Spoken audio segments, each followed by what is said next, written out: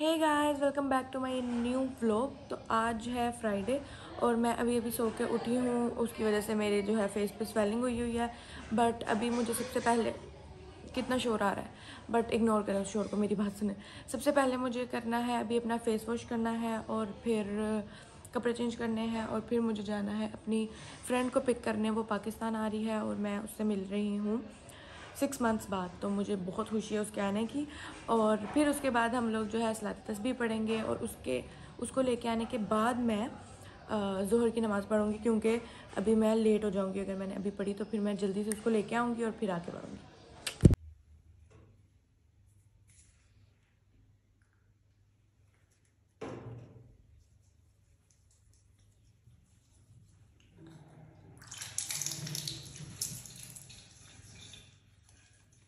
Face wash मैंने कर लिया है और ड्राई भी कर लिया है। अब मैं लगाऊँगी सबसे पहले सनस्क्रीन और मेरी फेवरेट सनस्क्रीन है ये। और ये मैं लगाऊँगी। इसमें हल्का सा टिंट आपको मिल जाता है। तो आपका जो है ना फेस बहुत नीट एंड क्लीन लगता है। उसके बाद मैं करूँगी हल्की सी अपनी आईब्रोज फिल इन क्योंकि आईब्रोज मेरी बड़ी गंदी गंदी लग रही है। मैं अपने फेस से बिल्कुल तैयार हो गई। मैं अपने बाल रेडी करने लगी थी छुट्टियाँ करने लगी थी। तो मुझे बाहर से आवाज़ ही मैंने कहा, बाहर क्या है? बारिश तो बाहर तो बाहर इतनी तेज़ बारिश हो रही है देखें। बहुत तेज़ बारिश हो रही है। और इतनी तेज़ बारिश में तो मैं हरगिज़ नहीं जा सकती। अब देखते हैं, बारिश अगर स्लो हो गई तो हम जाएँगे। भी यहाँ बारिश इंजॉय कर रही है बैठ के, और वो ईवा कोको बैठे हैं। बारिश तो हल्का होने का नाम ही नहीं ले रही है, आप देख सकते हैं। फुल स्पीड से बारिश हो रही है। ब्यूटी क्वीन हमारी यहाँ बैठी है वेट कर रही है बारिश खत्म होने का। आ जाओ बाहर। ये दरअसल मीमी से डरती है थोड़ा थोड़ा और मीमी बाहर बैठी इसलिए नहीं आ रही। रेडी मैं हो गई हूँ आप देख सकते हैं मैंने छुट्टियाँ की है बाल खोले नहीं हैं। बारिश भी रुक चुकी है और हम लोग जा रहे हैं मैं सॉरी मैं जा रही हूँ और उसको ले पिक करने वो भी पहुँच चुकी है और उसका फ़ोन आया कि मैं पहुँच गई हूँ तुम कहाँ हो? मैंने कहा यार बारिश बहुत ज़्यादा हो रही थी इस वजह से मैं थोड़ी सी लेट हो गई। तो बस हम लोग रस्ते में हैं और हम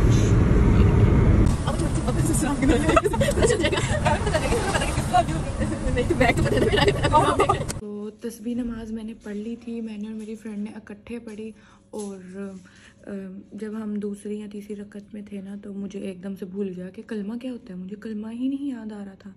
और ऐसा था कि मैं थोड़ा सा लाउड पढ़ रही थी ताकि मेरी दोस्त जो है उसको वो भी पढ़ सके। मेरे साथ हम दोनों को कन्फ्यूज़न ना हो, वो फुल कॉन्सेंट्रेट रहे।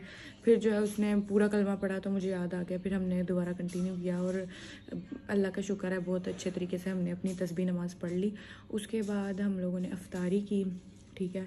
और मसला ये हुआ कि मैं व्लॉग बनाना भूल गई क्योंकि हम लोग बातों में लग गए और आज मैंने कुरान भी इतना नहीं पढ़ा था। तो उसके बाद सारा कुछ एक टाइम पे बता दूँगी, क्योंकि छोटे छोटे अब नए नए ब्लॉग आ रहा है ना, समझ नहीं आ रहा करना क्या है। तो फिर खैर, मैंने ईशा पढ़ी, ईशा के साथ तरावियाँ पढ़ी, नींद में थी, पर मैंने ना थोड़ी स्पीड में पढ़ ली बट पढ़ ली ज़रूर के पढ़ के सूँ फिर मैं सो गई और अभी तीन बजे मैं उठी, फिर मैंने तीन बजे जो है फ़ौरन तहजत पढ़ी, फिर सहरी की, और अब मैं बैठी हूँ, अभी अजान होने में काफ़ी टाइम है, और अब मैं पढ़ने लगी हूँ कुरान।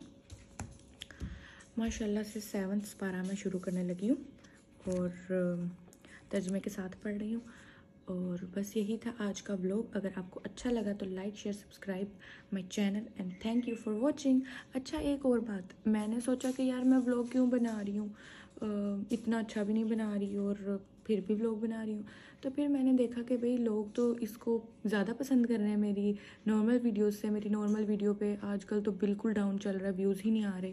लाइक व्यूज़ आ रहे हैं।